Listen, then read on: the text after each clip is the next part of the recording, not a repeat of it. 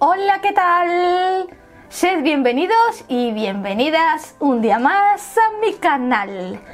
Eh, yo soy Patricia Caviedes o Kosukas Kukas Scrapbooking. Y en el vídeo de hoy os traigo una comparativa de cizallas. Os voy a comparar las cizallas que yo tengo, que son tres.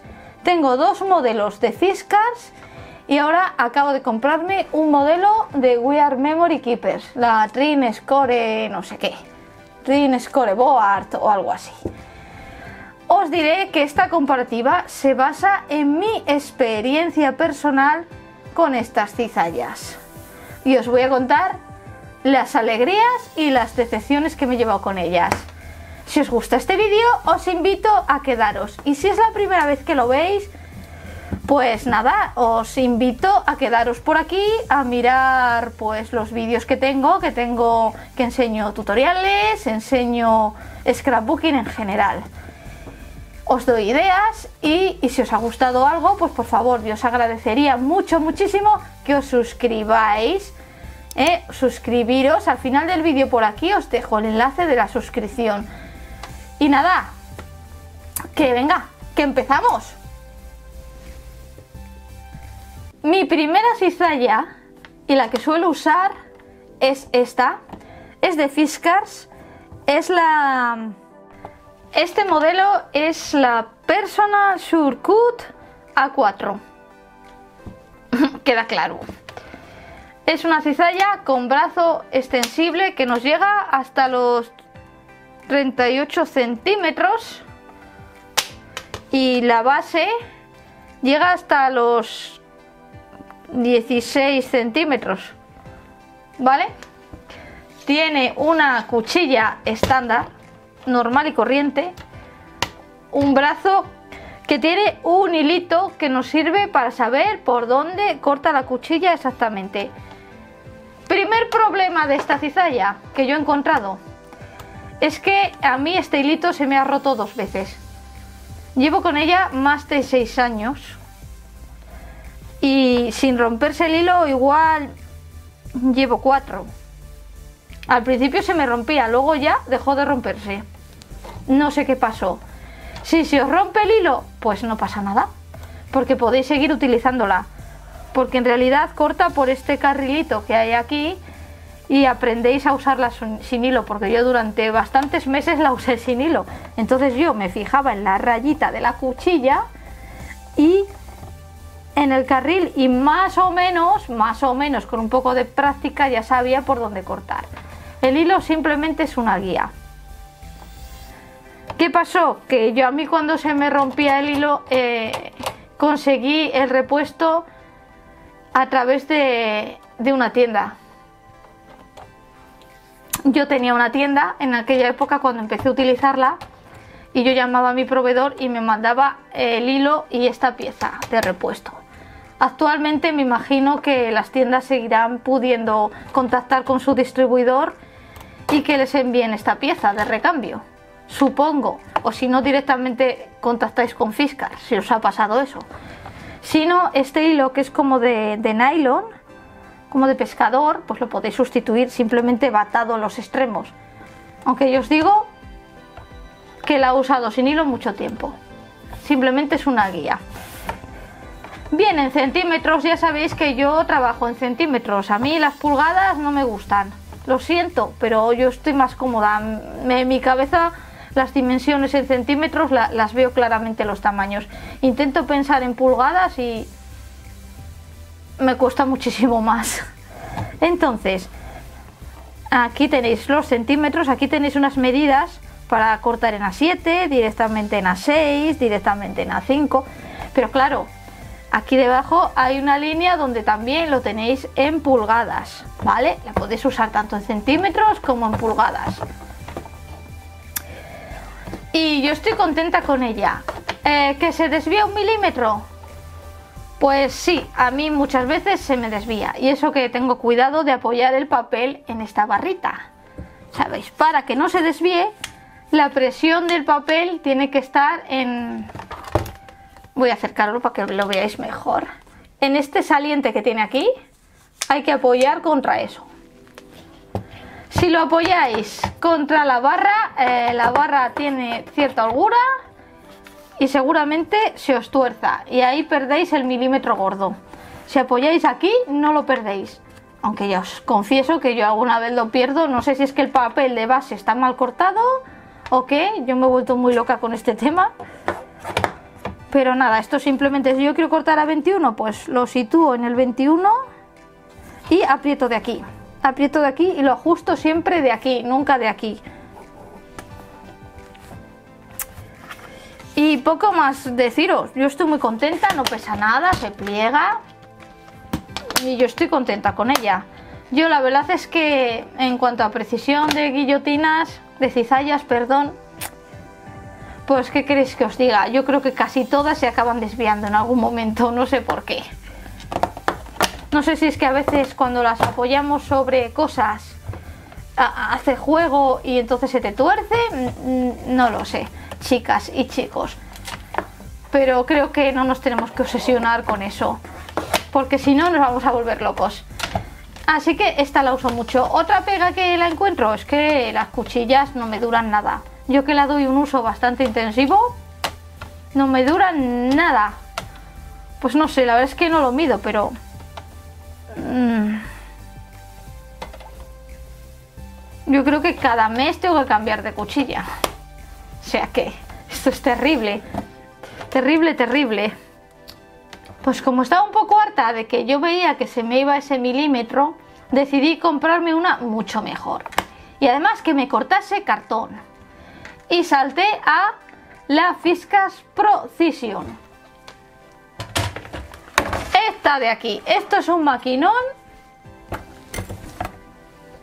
Un maquinón que pesa un montón, que se supone que no se mueve nada el papel porque corta con este carril metálico ¿Veis? Esta es rotatoria. Corta con este carril metálico, se supone que es la caña. Además, otra cosa buena que tiene es que no hay que cambiar la cuchilla. Porque se supone que se autoafila cuando la vas pasando. Y aquí hago un inciso. Yo he buscado y no sé cómo se autoafila. No sé si hay que pasarla normal o en un vídeo vi que había que darle así, hacia arriba y hacia abajo rápido para que se autoafilase. Si lo sabéis, me lo dejáis en comentarios porque lo necesito como agua de mayo, este consejo. El caso, es que a mí me va un poco dura por aquí. No va muy fluida, ¿eh? Le cuesta un poquillo. Esta es también plegable. Se abre así. Nos cabe en un tamaño grande de papel de scrap y esta nos llega 31, hasta los 32 centímetros más o menos en la regla. Si no sobresale, no pasa nada. Podéis cortar DIN 3 sin ningún problema. Esta también está en centímetros y en pulgadas. En la parte de arriba tenemos ya la sección de las pulgadas. Y en la parte de abajo tenemos todos los centímetros. El problema de esta cizalla es que el doblez nos pilla en una zona crítica llega hasta los 14 centímetros y luego aparece a los 15 centímetros y medio. Entonces, si los 14 y medio, los 15 son medidas, o las 6 pulgadas, son medidas que solemos utilizar mucho y se nos queda justo en la zona del doblez. Yo me he hecho unas marquitas con rotulador, como estáis viendo, veis aquí arriba, a ver, si es que si no me arrimo a la cámara no lo veo. Aquí arriba me he hecho unas marquitas para saber dónde están las 6 pulgadas, porque aunque aquí pone 6, esas no son las 6 pulgadas. Es un poco antes. Entonces nada, me he puesto aquí a 14 y medio, a 15 y a 6 pulgadas. Y ya está, no tengo ningún problema con eso. Se apoya bien por aquí cortamos, lo apoyamos bien aquí arriba. Y debo decir pues que a veces también ese medio milímetro se me va. No sé por qué. Supone que esto tiene muy buen apoyo, pero se me va. ¿Para qué la uso? Bueno, aparte de cortar papel, la uso mucho para cortar cartón. Yo el cartón de 2 milímetros lo corto sin ningún problema. Hombre, hay que hacer bastante fuerza. Y además yo siempre lo corto de abajo, desde aquí abajo, apretando hasta arriba. Os voy a hacer la demo. Esto es un cartón gris contracolado de 2 milímetros. Yo uso, generalmente uso el de un milímetro y medio porque me resulta más cómodo para cortarlo. El de 2 hay que hacer bastante fuerza. ¿Qué hago? Lo apoyo y corto, ya veréis. De abajo arriba haciendo fuerza. A ver.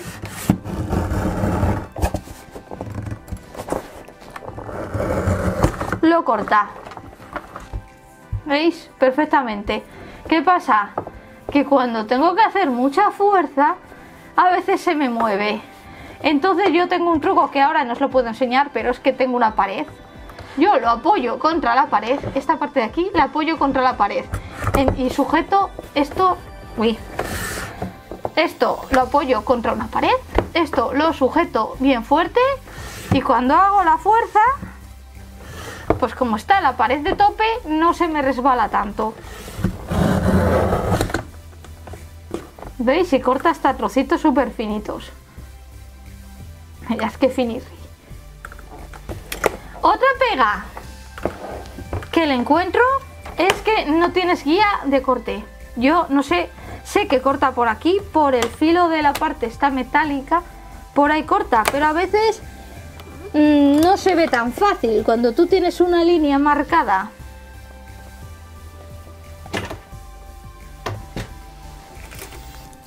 Si yo tengo aquí una línea marcada y quiero cortar por la línea, ya os digo, ¿eh? a mí me corta esta siempre de abajo arriba el cartón. El papel me da igual, pero el cartón de abajo hacia arriba. Si yo quiero marcar por esta línea, pues ya mm, me cuesta un poco más, ¿no? Porque lo que tengo que hacer es alinearlo al borde de la parte metálica. Verlo así y, esto. Pero en este sentido es bastante menos intuitiva que la de que la otra, que la del hilillo. ¿Veis? Y ahora corté.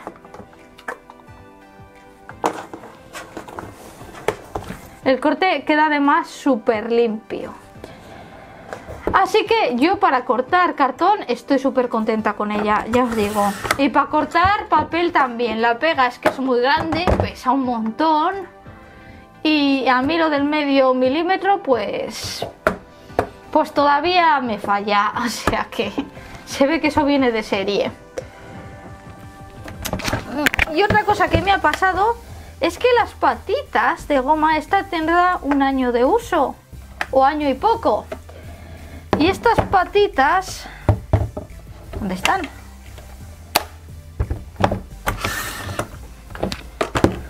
Sí, mirad, estas patitas aquí se me han pelado todas.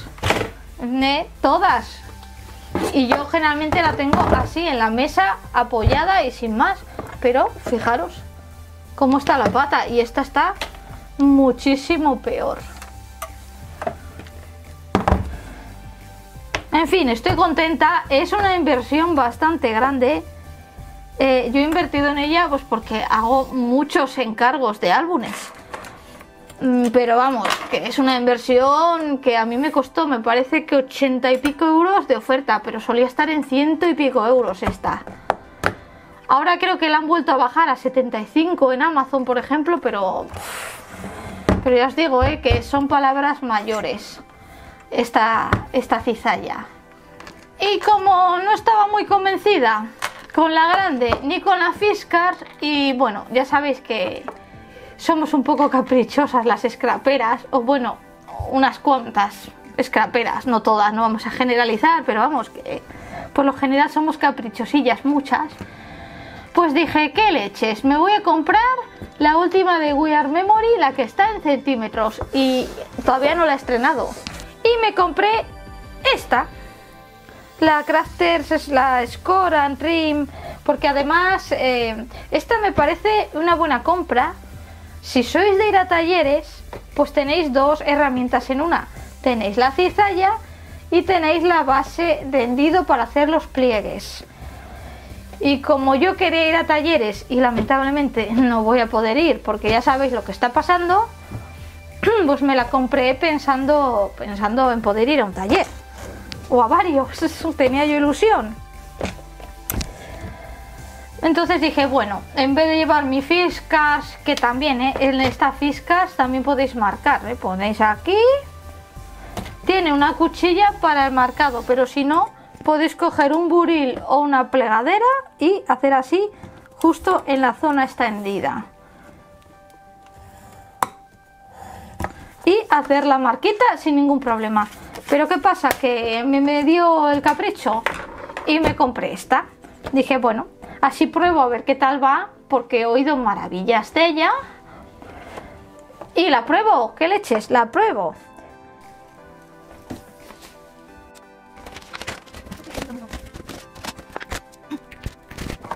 Sensaciones. Me gusta el tacto del, de la plegadera y tiene un rosa pálido súper mono. No pesa nada. Bueno, no pesa mucho.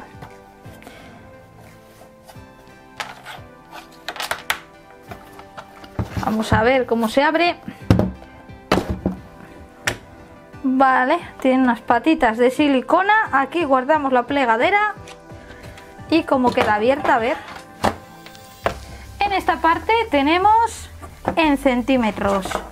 Va el 31 centímetros por esta parte hacemos los pliegues y justo en la línea de cierre está genial porque es que no nos pilla ningún plegado. Aquí acaba en el 13 y el 13 y medio va a continuación. No nos estorba para nada, eso está genial. 13, 14, 15, aquí está el 15, el 16, muy bien. Aquí abajo está para guiarnos un poco en pulgadas si así lo deseamos, pero claro, el hendido no lo podemos hacer en pulgadas porque evidentemente las líneas no nos coinciden. Aquí tenemos otra regla en centímetros rosita. Y aquí serigrafiado también en blanco, también está en centímetros. La cuchilla es de un plástico normal, ¿Y esto cómo se abre? Ah, se despliega así. Se cierra con imán, parece. No. Vale, esto se despliega así y la cuestión es que ponemos el papel y cortamos. ¿Cómo sé por dónde cortar? Vale, aquí está la cuchilla y corta por aquí que además pone cero. O sea que este es el cero.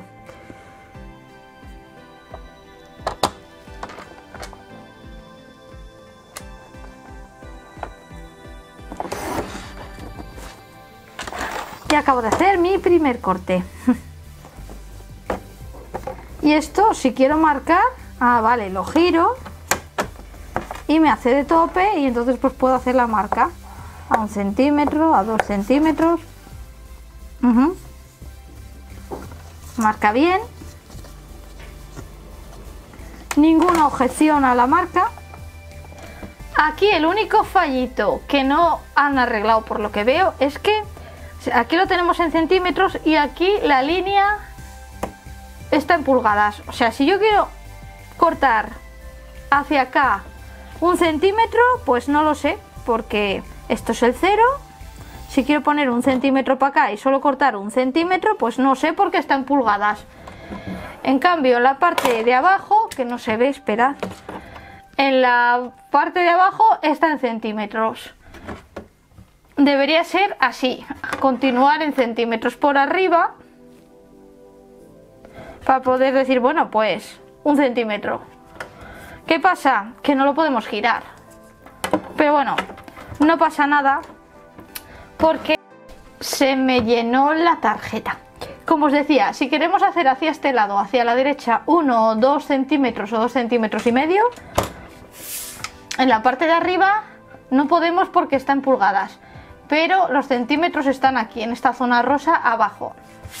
Entonces, pues nada, yo lo pongo en un centímetro o en dos, por ejemplo, en, en uno y medio. Y hago así. Y, y solucionado. no hay mayor problema. Hacia abajo 1, 2, 3 centímetros y,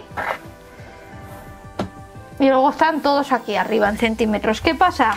Esto viene porque generalmente si yo tengo un papel quiero apoyar la mayor superficie del papel para que no se me mueva. Si yo quiero sacar el centímetro aquí, pues en este lado el papel se me queda en el aire para hacer un centímetro. Entonces pues es más probable que al cortar se me mueva. Por lo tanto yo iría a cortarlo en la parte de abajo. Tiene buena pinta. No sé la duración de las cuchillas, la desconozco porque ya os digo que no la he usado. Aunque me temo que no van a durar mucho tampoco, que va a ser similar a la de Fiskars Estoy deseando leer vuestras opiniones respecto a esta cizalla y que me comentéis si os duran las cuchillas, qué tal resultado os está dando. Y nada, voy a terminar este vídeo haciendo una prueba de corte, a ver si me corta resto o se me desvía el milímetro en las tres cizallas que tengo.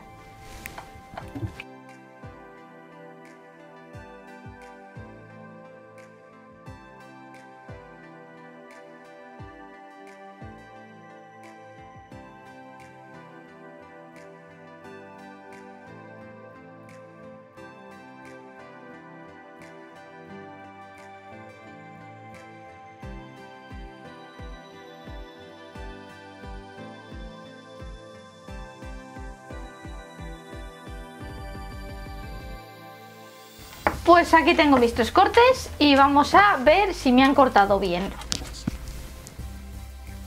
Conclusión final. La de Fiskars tiene un pequeñísimo desvío, por lo menos la mía, que no llega a un milímetro, pero me imagino que en el momento que usas esta mm, puede llegar ya al milímetro. Esta todavía no la he estrenado, pero lo que he podido ver es que corta exacto. Y la grande también corta exacto, por lo menos en la zona esta. Una vez que la abres, ahora voy a ver si, si abriendo en el brazo pierde más milímetros.